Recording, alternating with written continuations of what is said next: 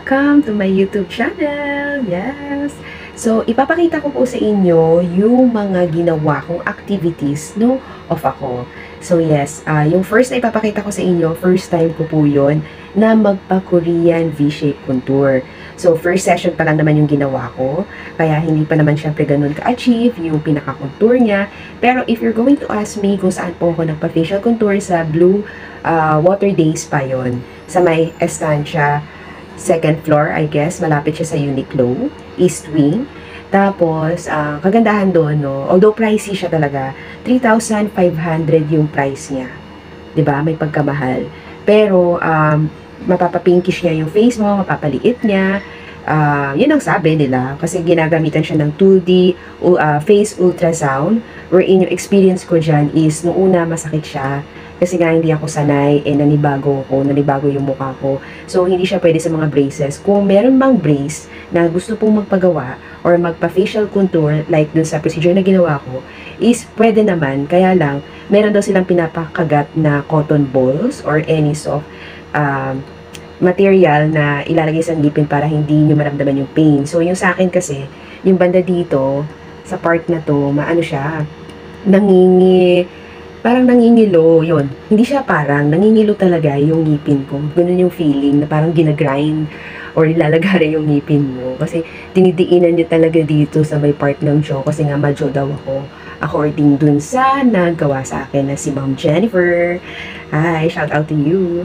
So, ayun. So, babalik din ako, ako ulit doon. Pero hindi ko alam kung ano naman yung ipapagawa ko. Hindi na siguro yun kasi mahal. Iba naman. So, yan. Nag-intro lang ako kasi wala akong intro doon. Bigla na lang akong pumunta doon. Sinubukan ko lang siya. And then, gusto ko siyang ipagawa. Kaya, yeah And then, yung next day nun, magugulat kayo kasi sunod-sunod yan eh. Yung next day is yung nakuha ko naman, natanggap ko yung Yves Rocher na giveaway prize sa akin. So, thank you so much, Yves Rocher. So, meron siyang Pliel Suriel na tawag or pangalan. Yun yung pabango na talagang minamat ako. I keep on eyeing on that product, on that perfume, matagal na. Tapos nagpag-giveaway sila. So talagang, alam mo yun, nag-effort ako, pumunta ako ng Mega Mall para lang sumali sa giveaway na yan. So, alam mo yun, pag nag-effort ka talaga and kung gusto mo talaga manalo, no, gagawin mo talaga lahat para mapili ka. So, yung price no, ng perfume na yun, pag nakita nyo, is 3,459. Actually, nandito siya ikatabi ko. Wait lang. Pakita ko sa inyo yung box. Okay. Sorry kung medyo magalaw yung camera ko kasi hindi ako naka uh, tripod ngayon or naka um, hindi ko dala yung stand ko. So, ito yun. Tada! O, oh, diba? Packaging pa lang itself, color pink. My favorite color, pink. O, diba? Floral siya. It's plain Soleil Eau de Parfum. Eh! so, ano siya, from Britain, France. Ang kagandahan sa Yves Rocher is mga ano, made in France po ang mga perfumes nila. Marami silang uh, mga iba't ibang klaseng perfume na magugustuhan nyo. Really, yung amoy niya is very expensive yung dating. As in, grabe. Tapos, ito siya, ayan no, nandito sa ilalim yung price niya. Tadaan! Oh my gosh, pag ano, para ba? Pag ganito, ayan. O, diba, nakikita niyo yung presyo. Hindi ko alam kung baliktad, pero It's 3,495, mga kumare. Ayan. So, okay, basahin ko sa inyo, no? Floral Unctuous, a collection of fragrance inspired by nature to reconnect to all our natures. Tapos, opulent light, shimmering nature as suave and captivating profusion of ilang So, ito na. Start na ng aking first session. So, una, ina-applyan muna nila ako ng facial gel. Promise Ayan, bago mag-proceed sa 2D so, face ultrasound wherein binaburn daw yung fats natin sa face. So, ayan po. Yung part na yan, masakit siya, promise. Kasi po, ayun nga, nangingila yung ngipin dahil nga parang metal siya eh, na device. Tapos, biruin mo, sinasagad pa ni ate, talagang dinidiin niya sa part na yan para daw makita yung jaw. Kasi raw, maganda raw yung jawline ko. If tatanungin niyo ako sa feeling, uh, malamig siya sa mukha, yung gel.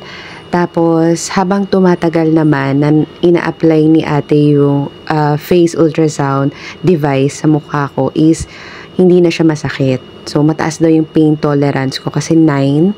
daw yung nilagay niya na number kasi may mga numbers yan eh. Pero yung pinaka-maximum daw is 10.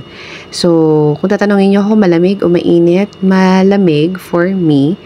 Pero, ayun nga, uh, mas ine-enhance nga yung sa my jaw area ko para raw mas makita and lumabas siya. So, yun. If I'm not mistaken, 15 minutes each cheeks area. So, nag-focus lang talaga siya sa cheeks. Hindi niya pinakailaman yung may sa noo ko. So, talagang pang ano lang siya sa cheeks lang talaga.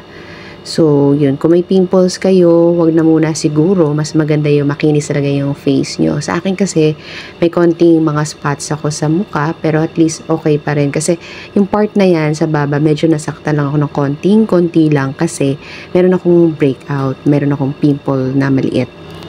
And tada! Ito na yung next day which is na-receive ko na po ang Ibrashe giveaway prize ko. Tatlo lang po kaming nanalo dyan. Grabe, sobrang swerte. Mga pabango yung pinabigay nila or pinadala nila.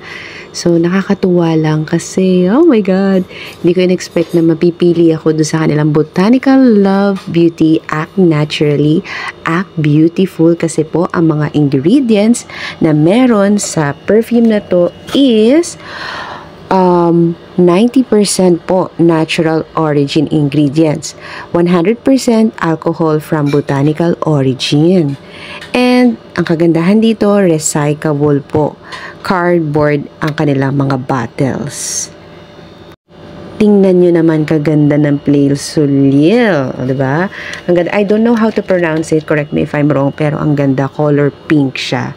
Match talaga siya sa aking, uh, you know, personality, very girly.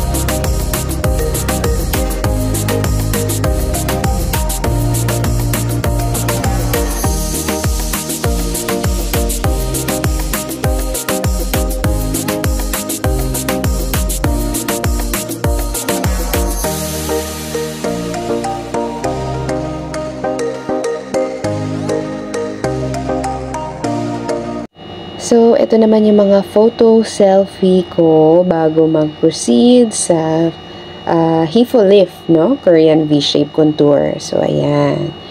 See? Ayan. Para at least meron akong souvenir man lang.